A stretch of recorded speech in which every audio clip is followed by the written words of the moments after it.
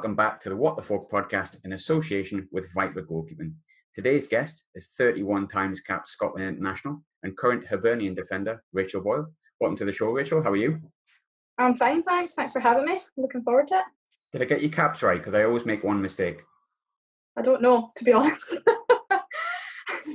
I really should know, but um, I'm not 100% sure. I think it was 31, and then we went to Spain, so I'm not sure if it's maybe went up a wee bit. Um, I'm going to say I got it wrong because I always get one thing wrong. My research is good, but I always get one thing wrong. If you're going by, I think it's Wikipedia. If it's not been updated since we were in um, Spain, then you might be a little bit wrong. I've learned. I've learned not to trust it. Put it that way. Um, first things first. Obviously, you did have some time out of the game due to, to pregnancy, having a, a, little one, which is fantastic. Um, but you've returned to club and international football sort of the back end of last year uh, regarding Scotland. I think November. Mm-hmm. How's the transition back to football been?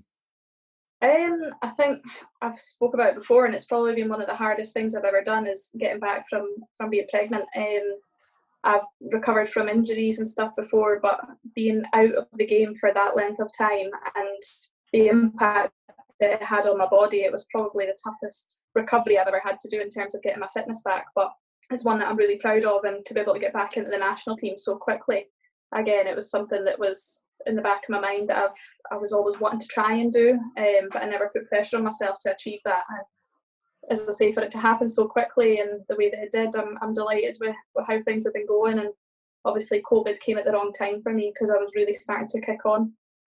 I was just literally about to ask that. Obviously, time out of the game for like the best reason in the world. Um, obviously, sure you're buzzing to be back. So, how frustrating was that COVID situation to kind of be away for like the best part of 18 months and then back and then just stopped for months on end? Yeah, it's been an absolute nightmare because um, I think going away with the national team to Spain, we, we had three games to play. And I kind of went knowing that I was just going to be a bit of a bit part player and and just have to take my chance when it came. But luckily for me, and I mean, I would never wish this on anyone, but a few of the girls in my position had a couple of niggly injuries when we were away, so it allowed me to get more game time than what I kind of expected going over there. So um, I really took my chance, and I felt I did quite well, and things seemed to be going really well. And I spoke to the manager at the end of the tournament, and, and she was saying how pleased she was with me. So yeah, things were looking up, and I knew that we had qualifiers around the corner. I think they were due in April, and I was really setting my targets on that. But obviously, with the whole COVID situation, it's put everything on hold and, and put us all back to square one. So it's just now about getting back to fitness and getting up to speed of play because I know the English girls are, are back playing contact, whereas we're not quite at that stage yet. So I'll be playing catch up. And you just came back to training sort of this week as we speak, today being the 27th, is that right? You came back to training this week, last week? Yeah, just yes, uh, just yesterday, this Sunday, um, we started back. It's only our sessions and it's non-contact, so it's all socially distanced. Um, so yeah, we'll see how that goes for the next few weeks, and then hopefully we'll get the green light to to get back into some contact. I've had a few sort of Hibs players on, and I know a few of the guys at Hibs as well, um, sort of in the media team ever so slightly. Uh, I know how good of a club it is and how great they are. Um, really, really welcoming and lovely to people like me. So during the period when obviously you were away, how great was the club for you during that period and how supportive were they? Oh, they were incredible. Um, yeah, I can't. I don't have a bad word to say about Hibs at all. They're they're such a family club, and and they knew to that when I was out of the game that I was obviously desperate to be playing with the girls, but at the same time, um, family came first for me. So they were really supportive, and any time that I was along, even if I was just joining in and training, doing non-contact stuff with the girls, just to kind of keep knitted in with them, it was it was really good and I can't as I say I can't have a bad word to say about anyone um, coaching staff right down to the players to to backroom staff um, yeah they're a first class club and I would definitely definitely push their name out there and, and say that they're probably one of the best clubs that I've been a part of absolutely I think um, it was no real surprise to me that at the time I was speaking to I think head of communications Kenny. Um, at the same time, a few weeks, few days later, I think the NHS sponsorship came out and things like that. And I think um, probably goes uh, quite under the radar how good of a club Hibs, uh, Hibs are in terms of community aspects, isn't it? Yeah, I mean, I think off the pitch, their their community base is massive. Um, our team's obviously based under the Community Foundation, yeah. uh, which is the, the charitable arm of, of Hibernian, and the work that they do in the community, both for underprivileged kids, for the elderly, it's every everyone together, and I think that really branches out across the whole of Leith and and East Lothian area and stuff. It's it's huge, um, and it's something that any chance we've been given the opportunity to join in and help out as best we can, I think most of the girls, if not all of us, have, have jumped at the chance. For people who don't know, I, I, kind of heard that that obviously you're under coming to the community side of things, um, which I actually wasn't fully aware of. I thought it was kind of completely 100% aligned because it is so close. Obviously, on the front of the program, um, the club itself, I think you can research anything like Hibernian women on the Hibs website that is predominantly previously probably the men only. So how does that work in terms of you being the community side and um, Hibs being like I suppose the, the Hibs men being the club club? What what are the differences and what are the similarities?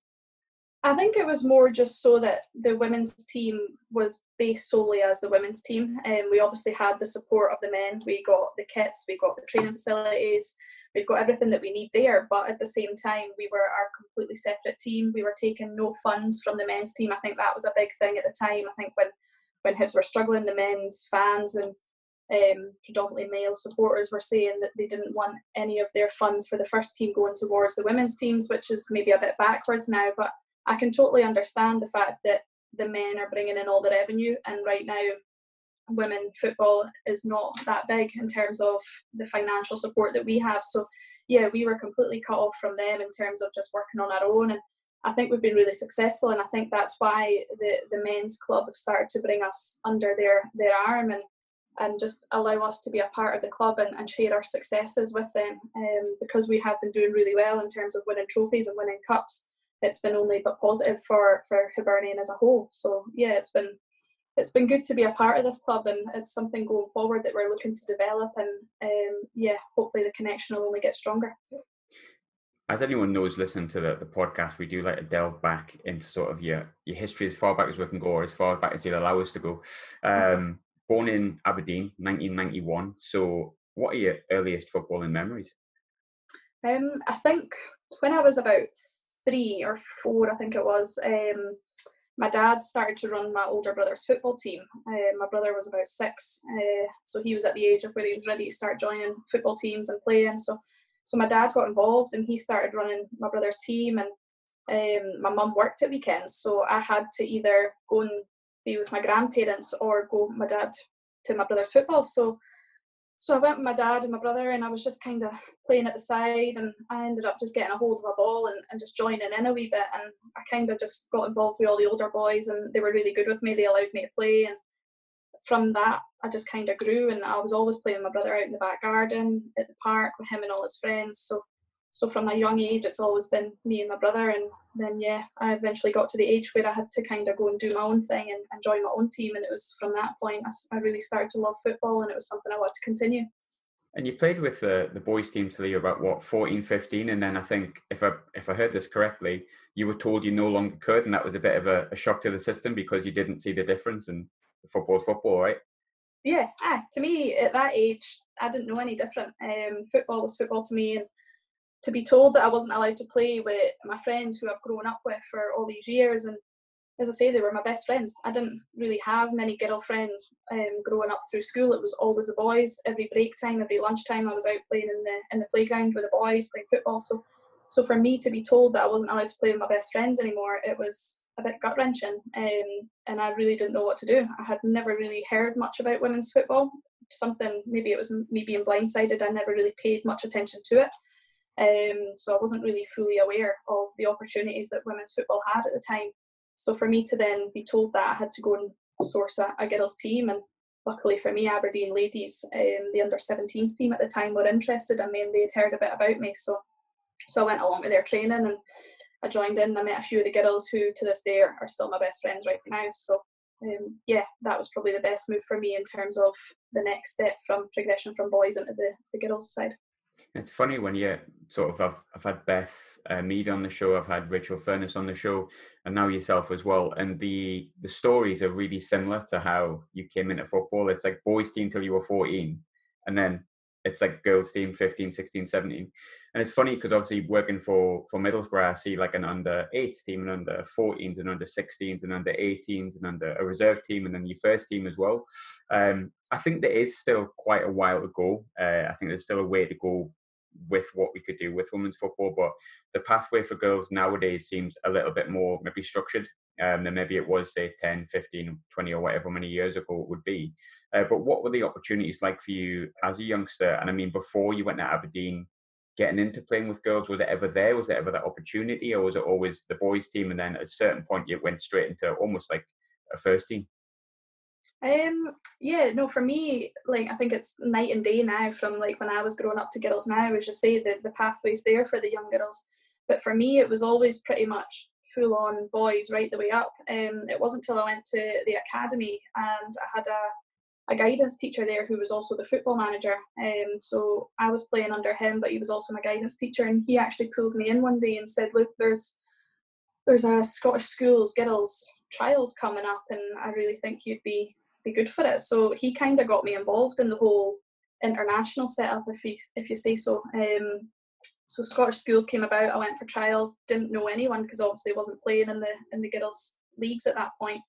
Um, so I went and got involved, and from there it kind of really kicked on. And eventually, had, as I say, I had to stop playing with the boys, and that's when I started to get to know more and more girls, and and it just kind of grew and grew from there. So yeah, I would say if I didn't have that guidance teacher, the the coach at the time, um, who really dug in deep into women's football and, and figured out the opportunities that were there for me, there's no chance I would have got to where I was today because he really set the ball in motion.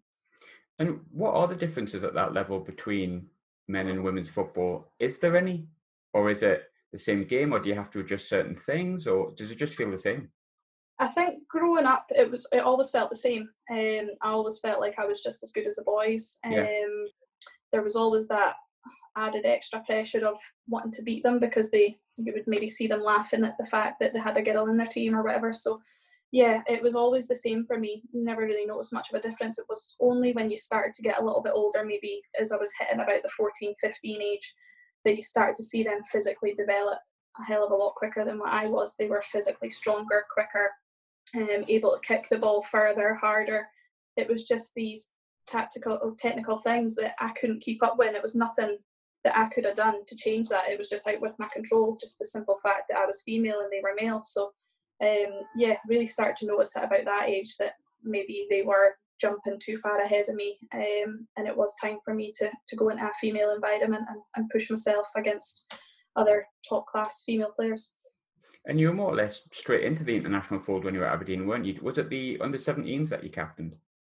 Um, under 19s, under 19s. captained. Um, yeah, Shelley was the manager at that point for the under 19s, and she made me captain when I got to there. Um, so yeah, I was straight in. I went right through the youth development. I went through 15s, 17s, 19s, and then into the A squad, which for me was a great experience. The youth squads, I think anyone you speak to will say that the youth squads are probably the best time of your of your life. Um, you're playing with your friends, you're traveling the world, you're you're loving life, just getting to play football. So yeah, those were great years and great memories. Obviously, schooling had to take a back seat sometimes, but um, my parents were really understanding and they knew that I wanted to go and, and push myself as far as I could with football and, and see what I could achieve.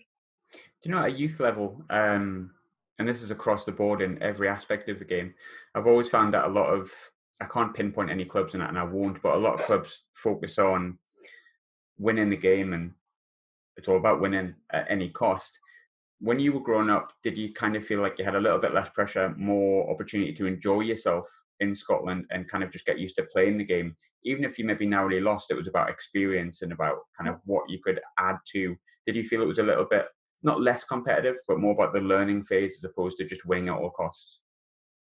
Yeah, I mean, I think for me growing up in Aberdeen, we were never the top team in the league in Scotland. Um, so there was that pressure was completely taken away. We were never expected to win the league year on year out like what maybe Glasgow City were. Mm-hmm. Um, so that pressure for me was not there. Um, I don't know if I would have thrived a bit better if I was in that sort of environment, but for me it was all about learning the game and, and trying to get up to that level of women's football because I was really young when I started um, in the Premier League with the, the women. Um, so I was I was really little, really weak. So all of these things kind of played a factor in me progressing as a player. I had to kind of get up to that that standard um, to be able to compete with the girls down south who were playing at the top of their game and internationals. Um, so yeah, I, I really pushed myself as hard as I could for Aberdeen, and I think we started to progress quite well, um, and we even sometimes achieved more than what we probably should have as a as a club. Um, but we've always said for the size of the Aberdeen City and the whole North region, uh, we should have had better amount of players coming through at the time. We, we only had a small number of players coming through at the women's team at the time, and for the size of the region, it just wasn't good enough. So I think they've done a lot of work up there to try and develop the women's game up there and, and give that pathway, as you say, for, for young girls coming through now. With um, Aberdeen, you growing up, obviously born in Aberdeen, were you an Aberdeen fan then?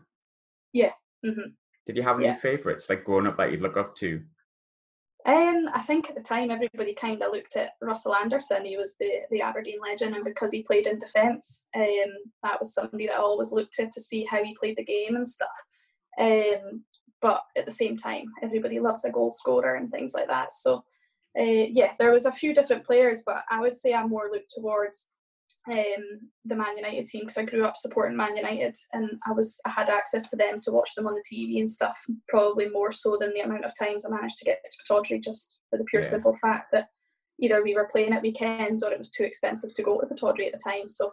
Um, yeah, I always looked up to, to Man United players and, and the, the golden generation, um, 1919 and stuff like that. So those were the players that I kind of looked to for inspiration you really threw me back with Russell Anderson there because obviously Sunderland signed him. Um, and I think he played one game and it just never really worked out from here. And I'm thinking, God, that's really going back. Jeez. Yeah, he's, um, he's not a Sunderland legend, that's for sure. no, he didn't. It didn't really work out, but I'm sure he's a lovely man. I'm sure he's a lovely man.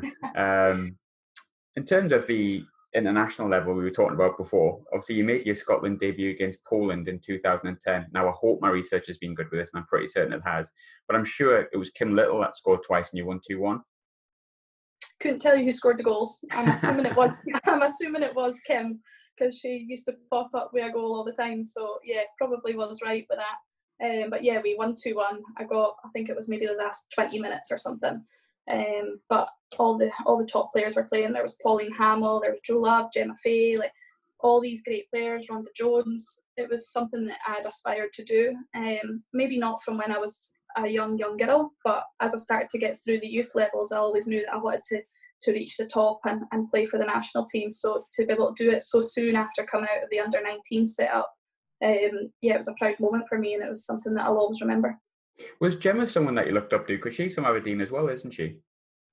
Um, yeah as far as i'm aware. Um, don't really know gemma's background that well. Um, but yeah she was she was the captain. She was the, one of the most capped players at the time and she was always someone that you could go to and speak to. Um, yeah. And playing in defence, having her behind you, she, she never shuts up. So you knew that you were in, in good hands with her. She was always trying to keep you in the right position and she talked you through the whole game, which was really good for a young player coming through. Um, so yeah, Gemma was top class for me um, when I first broke into the team. With uh, the game itself, obviously you mentioned Kim Little. I think scored twice. I could be completely wrong, but I'm sure I'm sure Google served me well here. Mm-hmm. Um, she's a player right at the top of her game sort of now, and obviously was fantastic then as well. But how much do you enjoy playing with her at the international level, and, and what does she bring to sort of the Scottish national team for you as a, as a player? Oh, she's incredible. Um, I think worldwide people are starting to know who Kim yeah. Little is, and they've known her for years now. She's she's an unbelievable player, and and not only that, she's a very humble person. Um, I think when I first joined the national team, I actually shared a room with Kim and to just go about and see how she goes about her business and conducts herself off the pitch as well as on it. She was an incredible person to be um, to share the pitch with, and obviously be off the pitch with. She was a top top teammate, and yeah, it's somebody that I've always looked up to, and, and just the way, as I say, she conducts herself. Um, great person, great player, and you know that if you're if you're ever stuck on the pitch, you can just give her the ball and, and she'll sort it out for you. Um, she's just unbelievable how important is it for a player? And I know, obviously, you'll be someone that'll be handing advice on as well now, um, with your experience you've had. But how important was it for you growing up to have someone like Kim Little, who would kind of maybe been there, done that, done all that stuff, that was so easy to speak to, and you know, experience or advice was all there for you to kind of lean on as you were coming through the sort of ranks. Yeah, I mean, I think what I take away from sharing a room with Kim was she never, off the pitch, she was never really speaking much about football.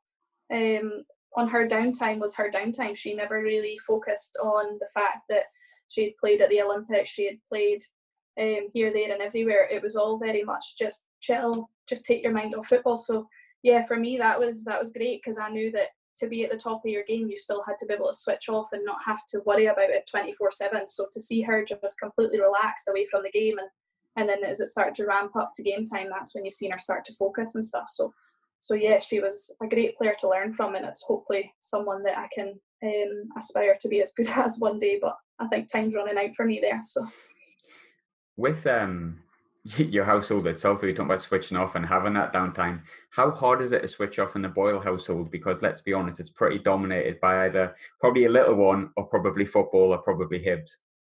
Yeah, I think um, people have said to me during lockdown, like, how have you coped? Because you're normally full on. Um, but for us, it's actually been quite good. We've we've had a set routine with the wee one, so we know that like the morning is like full on with her, and then once she goes for a nap, we kind of get an hour and a bit to ourselves. So Martin will disappear and play his Xbox, which gives me an hour to myself to just kind of chill out, whether it was doing the gym or whether it was just sitting watching Netflix or something. It was just our own time, and then obviously she got back up and, and caused absolute carnage again. So um, mm-hmm. we just had her to deal with until maybe seven, half past seven at night when it was ready for her bed, and then we got the evenings to ourselves. So um, yeah, lockdown was quite good in terms of being able to just relax a wee bit, knowing when we could and when we couldn't. But um, most of the time, it's very, very chill. We don't really speak that much about football when we're not at football. Yeah. If you know what I mean, we, we like to keep it keep it separate and family time's family time for us. Absolutely.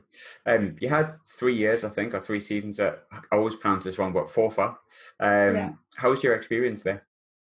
It was great. I loved it. Absolutely loved my time at Forfar. Um, that was the first time I'd actually branched out in football and, and went somewhere completely new that I didn't really know anyone. Um, but I felt at the time I had to go and do it to kind of progress my football. Um, and it was one of the best moves I made. Uh, the girls there were, were really welcoming, and it was a really close knit club, kind of like Hibs, where everybody looked after each other. Um, and yeah, again, similar to Aberdeen, we kind of we almost became better than what we should have been. Um, I think we finished second one year, which nobody expected us to do, and we reached the Scottish Cup final and ran Glasgow City quite close that day. Um, so yeah, that was an incredible season for us, and it was one that I think really set set in light how good Forfar could potentially be with with the right players, the right staff, and at that point in time, we were were hitting the heights of what we, this club could um, could achieve really. Uh, so yeah, that was a great time. But then obviously all good things come to an end, and it was time for me to move back on again. Talking about um, you know the move being outside of Aberdeen, I know it's only about an hour away or so, but it is moving to a new club where you don't know mm-hmm. people. It's the first club that's not your hometown club. I think I speak to a lot of people who sometimes go on loan when they're like 16, 17, 18, and they spend that year away from home. You obviously took a big leap by moving there permanently and spending sort of three years there how important is that to a professional footballer going to a different club in a different city where you know someone, not just then, but like later on in life, like now, how much did that experience help the way you play it and the way you view the game now? Yeah, I think it allows you to adapt both as a player and as a person. You, you need to come out your comfort zone to, to really challenge yourself. And I think at that time I was getting pretty comfortable at Aberdeen. I'd been there for a few years and I knew that I was going to play every week. Um, so for me, that was the comfortable stage and I needed to break out of that mould and going to Forfar was completely new set of players, completely new set of staff that I had to try and impress. Um, so you were bringing your A game every session. Um, obviously it was it was different for me. I was travelling in the car maybe an hour each way um, to train, so it was it was quite difficult in terms of that because you know what like when you've been sitting in the car for that long and you're stiff and you need to get out and try and run about. So I had to kind of overcome that and, and really set my life into balance because at the time, the first few weeks, I don't think I was eating properly. I was just buying stuff at the garage, just eating it in the car on the way to training and stuff. So, so that was a whole learning curve for me. Um, but yeah, moving forward, it allowed me to develop in terms of playing different styles of play, playing with different players, and adapting to how different situations come about in the pitch. Um, obviously, Forfar with a completely different team from Aberdeen, so so there was different mindsets, different personalities, and different ways of playing with the coaches. So so yeah, it was a it was a great learning curve for me, and it was something that I'll look back on, and I'll never ever regret that decision to to leave Aberdeen and go there because it was something that I needed to do. As it was, like you said, you know, you moved on towards Hibernian, where you still are at the moment. I think around 2017, 18, 19, obviously you had a little bit of time away because of um, giving birth. But I think 2017 was kind of where you really came to fore and played the most amount of games you had done for Scotland. But then, lo and behold, obviously you missed the World Cup for the best reason on the planet. But at the same time, you know, you did miss it, and I can understand that it's frustrating. But did you get a chance to go over and see the girls in France? No, I was um, getting ready to get married. oh, so you were? Um, yes, of yeah. course. So um, yeah, I had had my wedding booked um, way before I even got back involved with the national team, um, and before we obviously fell pregnant. So um, the wedding day was booked, and I think we played the day after Scotland played. We got married the day after Scotland played Japan. Um, so I can remember just sitting at my mum's the day before my wedding. I was in my mum's house in Aberdeen, and I was trying to sort out like all the, the wedding parts. I was putting them in different bags and getting them all packed up and ready to take them over at the venue in the meantime, I'm sitting trying to watch Scotland versus Japan, and my mum's shouting at me saying, "You've got to get this done." I says, "Well, just give me a minute. There's a goal went in here." like, so um, yeah, that was a, a, stressful time. I never actually got to go over and, and watch the girls, but I watched every game on the TV, and yeah, absolutely loved seeing them there. But a little bit of jealousy at the same time. absolutely, no, no, absolutely. I think. Um, obviously, like I was saying before, it's the best reason. If you're going to miss a World Cup, that's the best reason yeah. to miss it. Let's be honest. Um, and I'm absolutely 100% certain there's not even a 0.0.1% of regret with that. But it is difficult. You know, you've you probably wanted and dreamt to go to a major tournament with your country for a long time, and I think we've got to be honest and say that 2020 was probably the big moment where actually household names started being made, not just in America, like across in here as well, Scotland, England, wherever it would may be. So, at what point do you kind of become at peace with it that you're not going to go it's fine and become just that fan that's like screaming at the tv which i imagine you were against argentina but um... i think um i think the minute i fell pregnant was the time where i realized right i'm not going to go to this world cup it's just not going to happen um and for me i was at peace with it like straight away i remember sitting i was due to give birth on the thursday in september and i think the national team were playing in Albania on the Tuesday, a couple of mm-hmm. days before, and I was sitting watching them on BBC Alba. And it was that day that they qualified. And I remember sitting um, around at my friend's house and we're having dinner. And I was thinking to myself, I could have been there.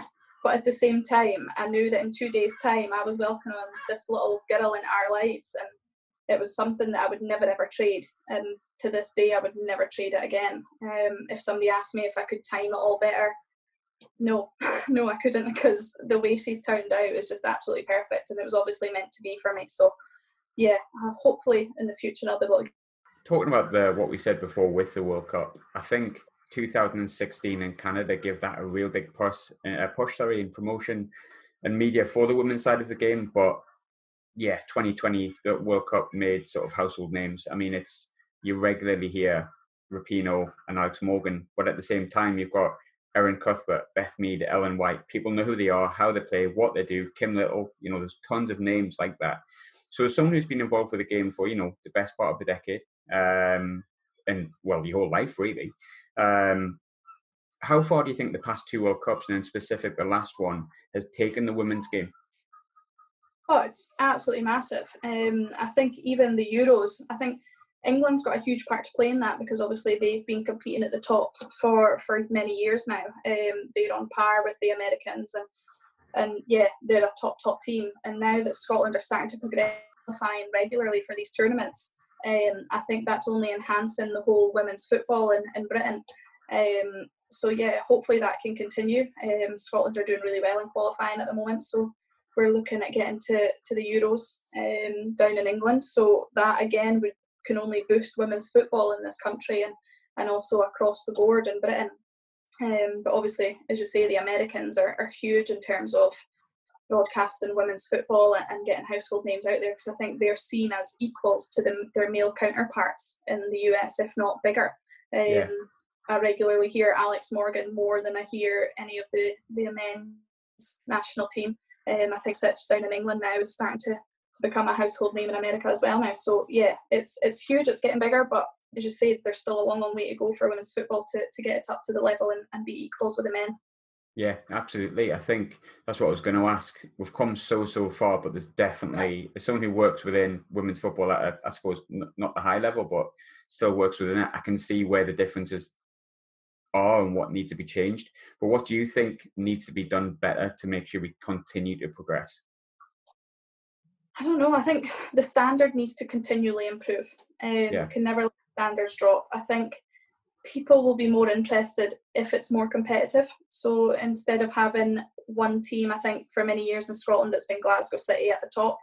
Um, but recently Hibs have started to challenge them in both cups and league. Um, but now that we're starting to get more investment in the Scottish League, we've got Celtic and Rangers who are who are really investing in their women's teams, and that can only be good for the Scottish game. And hopefully, it'll make the whole league more competitive, which will in turn bring in more fans because I think until we start getting more spectators into the game, we're not really going to build a revenue and, and build the financial side of things. So until we get some support in that sense, we can't really then broadcast any further than beyond our own country. So we really need to work on the domestic game at the moment and then hopefully with the success of the national team tied in with the domestic game, we can really start to branch out and, and make it as big as we possibly can because as you say you, you can see it in England it's it's huge down in WSL now. The investment that they get and and the crowds that they get to some of their games is massive. So so yeah we're as a nation trying to to push up to that level and and really grow the game.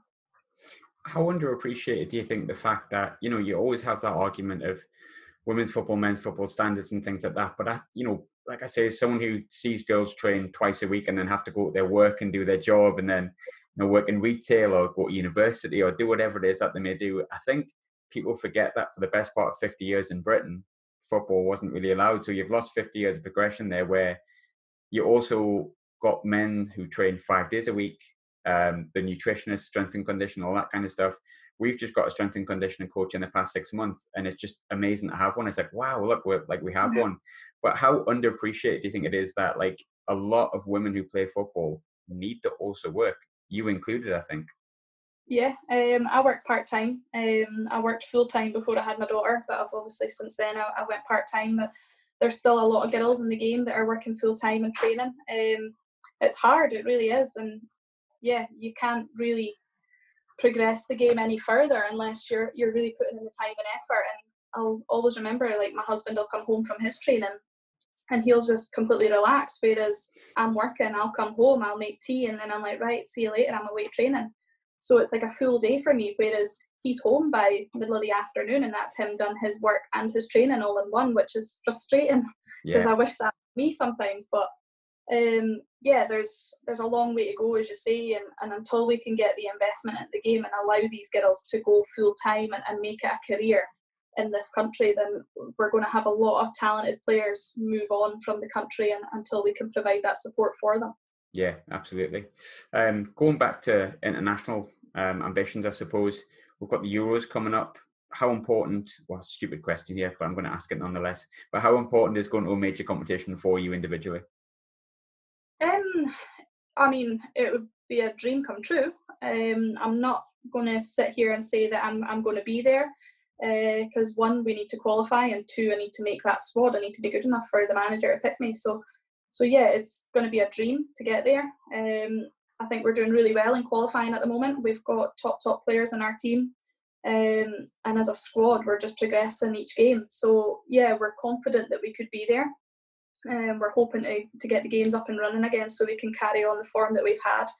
Um, but for me personally, I would love to be there, but life gets in the way sometimes. So we'll just have to wait and see how things go for me between now and then, and, and if I'm hitting the form that I need to be for for the manager to select me for that if and when we get there. So. Talking about international level, obviously I've looked at the, the teams you've played against, the players you came up against as well, and there's been some great players. But personally, who's the toughest opponent that you've ever faced? Um, I would say probably I played against Abby Wambach um, over in America. Yeah. And just for the simple fact that she is massive, like her size and stature was just huge, and and then you get me at five foot two, like I couldn't compete with her, like I couldn't move her.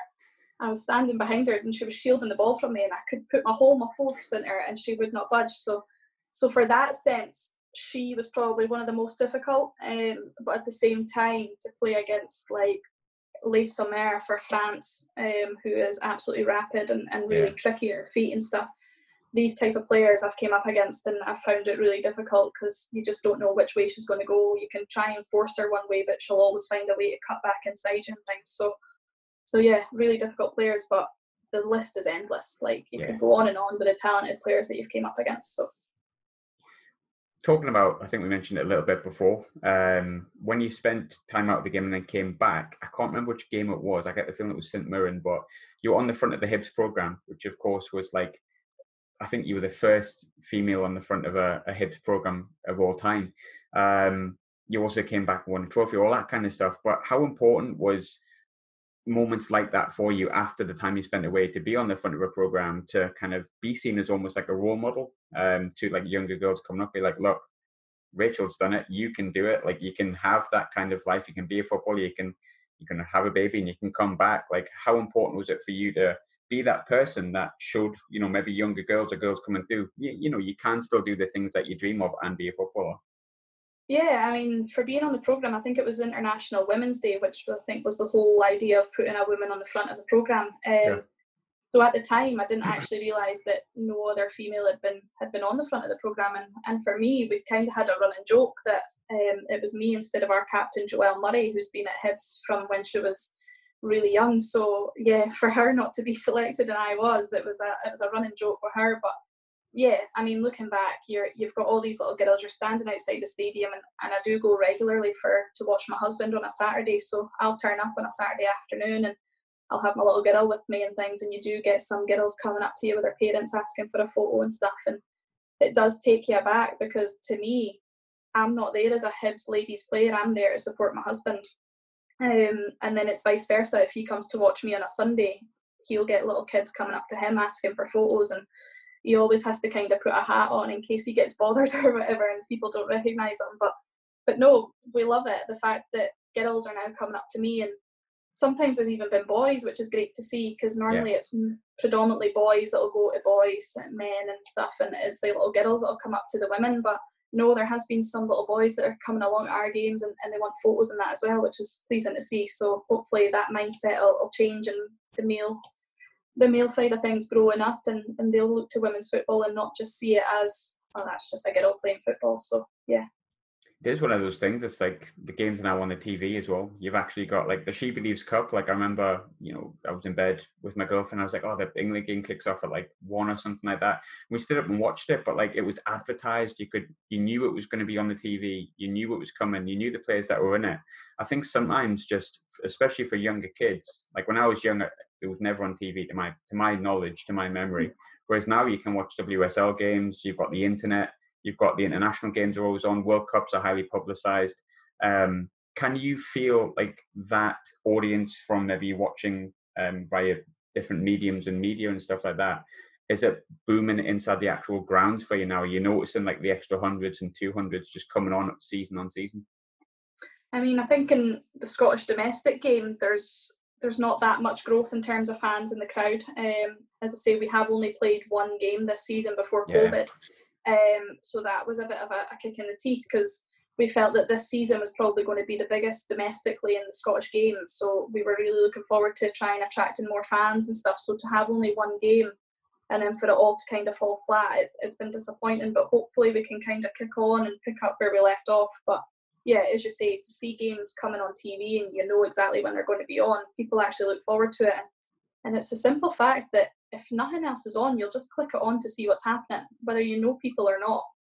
And um, yeah, to, to see the SheBelieves Cup, it's huge. And then we obviously have games on BBC Alba being broadcast across our league, and, and it's not always the top team, it's not always Glasgow City, it's not always Hibs, which is pleasing to see because you can then relate to, to other teams. And I think girls growing up, if they're not the best, they can still look and be like, well, I could still achieve that because the team at the bottom of the league still getting shown on TV, sort of thing. So, so yeah, there's um, the broadcast is there and the media is there. We just need to kind of build on it and, and improve as we go. But that can only help with, as I say, getting more fans in the game and more spectators, and, and obviously the national team continuing to do well because they play a huge part. Absolutely. Um, with Hibs, you mentioned it before. You've only played one game. Um, obviously, the, the season for people who don't know aligns slightly differently um, to the, the, the men's side of things. So you play one game and COVID happens, but you're playing under a new coach. I know that because of COVID, you've probably spent far too, I think, been apart for far too long. But from what you've experienced under him so far, how have you enjoyed working under him? Yeah, he's been great. He's been a breath of fresh air. Um, we've since I've moved to Hibs, there's been a few different managers, so I've had to adapt um, across my time here. Um, luckily for me, um, everyone's seen something in me that they like. So, so yeah, hopefully that'll be the same with the new manager. I think over pre-season, I've kind of gained the respect of being one of the older players in the squad, and he's kind of turned to me a wee bit and in terms of speaking about maybe younger players in the team and, and seeing how we can improve them and and kind of bring them out their shell a wee bit. So yeah, I've kind of been left to kind of bring the team together and, and keep everyone close knit. So yeah, I'm looking forward to getting back to training and meeting new players and, and seeing all the, the old faces again and kind of kick on and see how we get on. But as I say, the manager's been great. He's been he's been trying really hard and obviously he's been put on furlough, which means we've not really heard from him that much over COVID. Um, but the backroom staff who who haven't been put on furlough, they've been really good and they've kept in touch. So hopefully we go back with a good base of fitness and we can just kick on. And the good thing is, you you mentioned before about new players coming in, and one of the players that you signed, we spoke about off air, is someone I've known for quite a while now, Charlotte Potts. Tremendous character, tremendous player. If I, have got to be honest, she is a great addition. I can assure you with that. Um, but we also spoke about it before, touching it before with Rangers and Celtic and the investment they've put in there. And Glasgow City, they have kind of dominated or been seen as the dominant force, the, the Man United of the Liverpool, if you prefer, um, of Scotland. How confident are you of challenging against those clubs this year? Because obviously you've got yourselves, Rangers, Celtic, and now Glasgow City is probably the top four, and it's really competitive with the way that Rangers and Celtic have been investing. You've brought new players in. Glasgow City, you've got the stable. So, how confident are you of challenging for the title again this year? I mean, we're not going to come out and say we're going to win it because we haven't won it yet in previous years when we've been at our strongest. Um, yeah. Continually, year on year, we've lost players. We've always had to kind of readapt and bring new faces in to try and supplement the team. And I think it's getting harder and harder because, as you say, teams are now go professional, so players would yeah. rather go elsewhere. Um, so for us, it's about maintaining a level of standards that we've we've set over the past few seasons, and and bringing, as you say, the new faces that come in. We need to get them up to the standard of the club and, and make sure that they're going to hit the ground running. Um, we obviously played against Spartans at the start of the, the year, and it was a really close game. I think we only beat them one 0 with the last kick of the game, really. So um, teams are developing all the time, and we can't sit here and say we're going to be the best because we know that it's going to be difficult. Um, obviously, all teams have strengthened across the board, and I would say maybe we've weakened. We haven't really got the strength and depth that we've had in previous years, so maybe a couple of injuries here or there could really affect us as a squad. So, so for us, it's about sticking together and, and really pushing on. And we know that every game is going to be a challenge, so we just need to perform to our best and, and see what we can get out of this season. But there's no denying Hibs as a club are known for winning trophies, so we need to be to be challenging. Absolutely. Um, final question then. It's a, a, a packed question that I'm sure could have a million different answers, but in the immediate future, what what is your future? What is what you're looking to go into? How are you're looking to the next few years? What's what's your hopes? Um, I think just now I need to focus on getting back to, to match fitness and match sharpness. Obviously, it's been a long, long time since we've been kicking a ball about, so so I need to focus on that and get back into training with the, the girls and, and see how I get on. But as far as I'm aware, there's international games coming up in September, October, um, and that's something that I would love to be a part of. Um, absolutely love being away with the girls in, in March there in Spain. So, so to get back involved with that, going into competitive qualifiers, is something that I'm really aspiring to do. And as you say, over the next few years, we're we're looking at kicking on as a club and both domestically and internationally, I, I really want to try and push and qualify for the Euros and, and see where that takes us. Fantastic. Rachael, thanks very much. Um, Thank you. Look after Charlotte for me. Um, and I hope you have a, a, fantastic year and hopefully we get back playing football soon, eh? Yeah, fingers crossed. Awesome. Thanks very much. No problem, Rachael. Thank you.